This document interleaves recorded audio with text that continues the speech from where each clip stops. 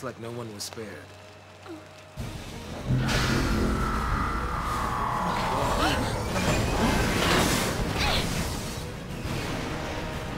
He really wants us dead.